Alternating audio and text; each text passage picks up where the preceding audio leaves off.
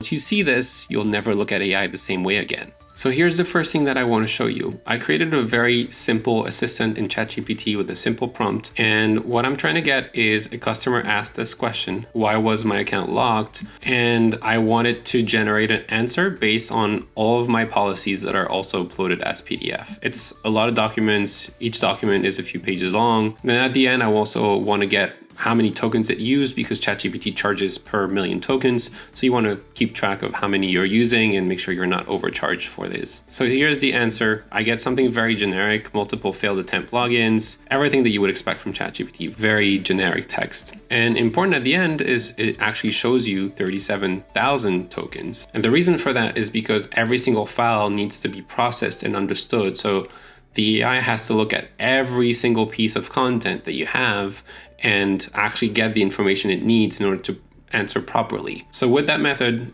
and only using ChatGPT, well, not only it's quite annoying. You have to upload all the documents for every single question you have. It's repetitive. It's not fun. Uh, two, it's quite generic. And three is it's expensive. Uh, I'll show you how with a RAG, you can actually do that for 16 times cheaper. So let me show you exactly how I did that.